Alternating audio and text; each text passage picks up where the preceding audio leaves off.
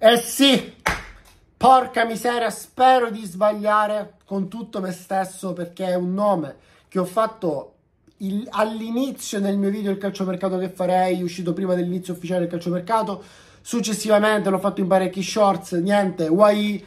cambia squadra, non viene al Milan, non va al Chelsea. Adesso parliamo di lui, ma soprattutto andiamo a parlare delle uscite che condizionano inevitabilmente il calciomercato finale, questi ultimi due o tre colpi da fare per completare il reparto alla squadra al 100% e non lasciarci, speriamo, lacune. Detto questo, capocce mie, buon pranzo a tutti. Innanzitutto lo dico sempre, pollice sotto in su, like al video, facciamo arrivare questo video a quante più persone possibile, iscrivetevi al canale, raggiungiamo i 3.000, ma che dico le 5.000 capocce, belle dure e testarde e soprattutto per i già iscritti attivate la campanellina. Allora ragazzi, purtroppo è un nome che ho fatto sempre inizio mercato, speravo di far arrivare nel mio piccolo, io e tanti altri canali molto più grandi di me, la pulce all'orecchio di Casa Milan, un giocatore che è sparito gradualmente dai radar rossoneri. Guai passa a Lens per una cifra complessiva di 35 milioni bonus compresi, quindi non era vero le, le famose richieste enormi del Montpellier da 45-50 milioni il calciatore passa al Lens, un Lens che ha venduto a peso d'oro Pendà all'Ipsia per qualcosa come 50-45 compresi i bonus quindi ragazzi, eh, il giocatore fa una, una, una, scelta secondo me giusta perché è un 2003 ragazzi, un 2003 deve giocare. Rifiuta il Chelsea che aveva trovato a sua volta l'accordo col Montpellier da tempo, lo rifiuta perché il Chelsea in questo momento è una cozzaglia di giocatori fortissimi, ma una cozzaglia di giocatori rimane. Quindi da questo punto di vista andare a giocare al Chelsea in questo momento rischi di finire del tritacarne. Lui un 2003, vuole giocare, decide di andare al Lens, rimanere in Francia, quindi nella sua zona di comfort, ma passare in una squadra che giocherà la Champions quest'anno, quindi inizierà a uh, calcare palcoscenici importanti. E quando è così, ragazzi, dovesse fare bene, noi in futuro possiamo ampiamente dimenticarci di un calciatore come Wai perché comprato a 35 dovesse fare bene, ragazzi, dovesse fare quei 15-18 gol in Francia quei 3-4 gol in Champions League poi chiederebbero qualcosa come 55 60 milioni in Lenz è una società ricca il Lenz l'abbiamo visto con la Pendà non ha calato di nulla le sue pretese alla fine ha avuto ragione lei. Quindi nulla io l'avevo più volte designato come il calciatore perfetto per il Milan un calciatore veramente molto bello da vedere elegante, forte che può fare tutto la prima punta, la seconda punta forte fisicamente perché parliamo di 1,85 m e ripeto, del 2003. Poteva essere un talento generazionale per il Milan. Il Milan mm, alla fine poi è uscito dai radar perché comunque è un calciatore la cui testa non è sempre stata al 100% professionale. È anche vero che a questa età, per carità, è meglio giocartele tutte ore le, le cavolate. Non ha mai fatto cavolate enormi come Balotelli da giovane, però è, è, sempre stato un po' invischiato in vicende extracampo che l'hanno visto sempre uscire pulito, però non è mai bello, non è mai bello quando questo accade. Niente, speriamo di non mangiarci le palle e passiamo avanti, passiamo avanti perché io innanzitutto faccio un applauso, un applauso al uno, praticamente al nostro giocatore che ha vinto un ambitissimo premio intellettuale. Ballo vince il premio ufficiale 2023 come calciatore più riflessivo dell'anno. Un applauso a Paolo Touré che pensa da 45 giorni come levarsi dalle palle, ma ancora una squadra non l'ha scelta. Porca miseria. Niente, Baloture ragazzi doveva andare al Verden Brema, poi la trattativa, il Milan ha trovato l'accordo col Verden Brema, il giocatore ha congelato il Verden Brema perché il suo procuratore contemporaneamente sta portando altre offerte per lui. Una vicenda stucchevole che spero poi possa vedere Balotelli andare via da, dal Milan. Il Milan dicono che abbia già preso il sostituto Calafiori. Molti storcono il naso. Io invece capisco la, la scelta del Milan perché il Milan crede molto in Bartesaghi. Quindi vuole prendere un calciatore che non eh, spero poi il Milan spera di concludere questa trattativa in prestito con diritto eh, che in qualche modo non sia ehm, obbligato al riscatto di, di Calafiori perché vuole prendere ecco, quel tappabuchi in grado di fare ambientare tranquillamente in questa transizione Bartesaghi. Quindi per quanto riguarda questo è fatto. Per quanto riguarda il difensore, ragazzi, ne ho parlato nel video di ieri, se non l'avete visto recuperatelo, il Milan ha chiuso praticamente per Pellegrino. Ieri il presidente del Platense è arrivato in Italia. Ragazzi miei, vuoi mai che un presidente si faccia un volo che taglia la terra in due per arrivare a Milano e non vendere il calciatore? È ovvio che quando è così già praticamente si era ultimato l'accordo, poi possibilmente lui si fa un giro lungo in Italia perché voleva parlare con altre squadre di altri suoi calciatori, però ecco Pellegrino passerà al Milan per una cifra si dice complessiva dai 5 ai 6 milioni, percentuale sulla futura rivendita, circa 300-250 milioni euro di commissione agli agenti intermediari. Questa è la trattativa Pellegrino spiegata, prenderà il posto di Gabbia, calciatore, e ripeto, in Argentina ne parlano un gran bene, l'unico difensore di piede sinistro che avrà il Milan, quindi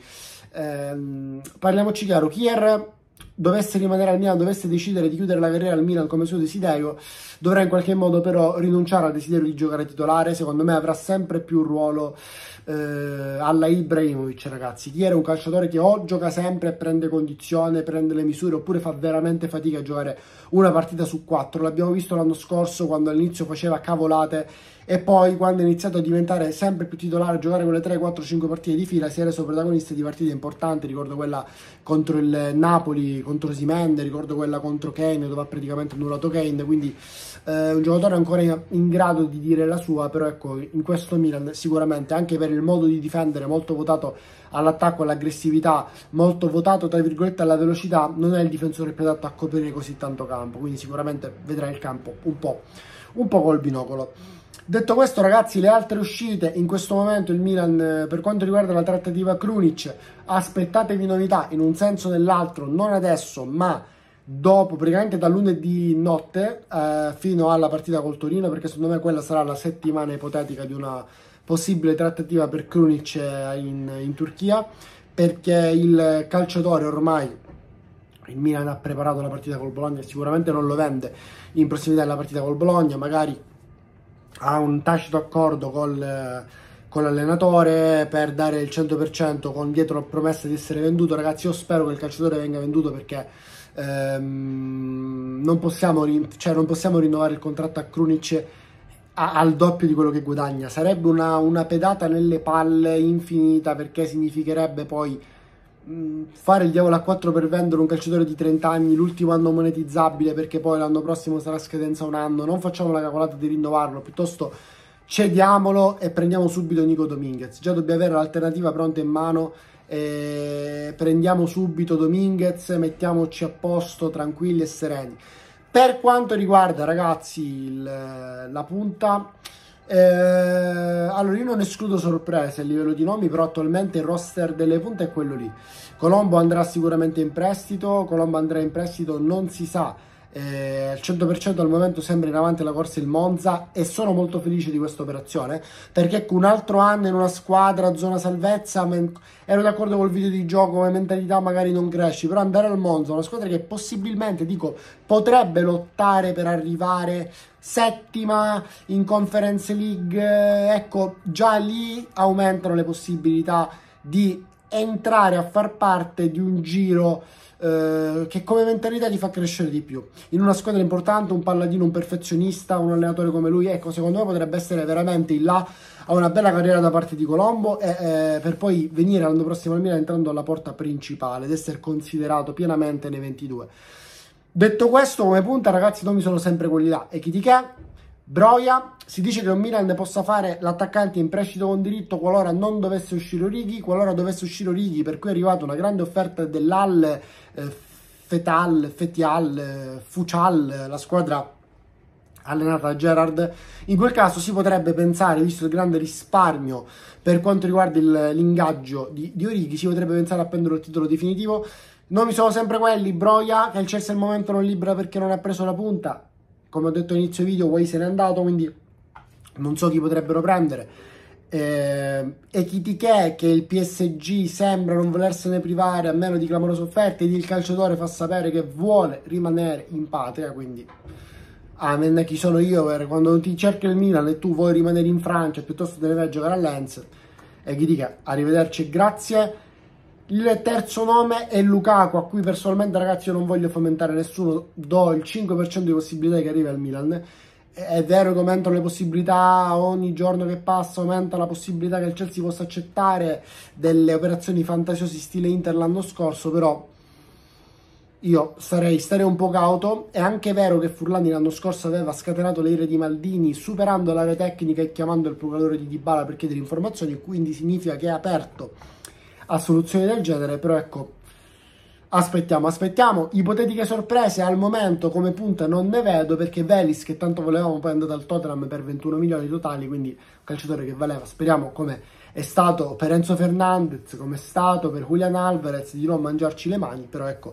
questo è quanto. Fatemi sapere voi come eh, in qualche modo eh, completereste il mercato del Milan. Eh, che acquisti volete che il Milan possa fare da qui alla fine del mercato? Scrivetemeli tutti, mi raccomando, rispondo a tutti. Un bel pollice in su, like al video, mi raccomando non lo dimenticate mai, la cosa più importante per sostenere un creator, soprattutto iscrivetevi al canale, raggiungiamo le 3.000, ma che dico, le 5.000 capocce nel minor tempo possibile. Detto questo ragazzi, buon pranzo a tutti, buoni bagni, buoni ultimi giorni di mercato, lunedì si ricomincia, forza Milan.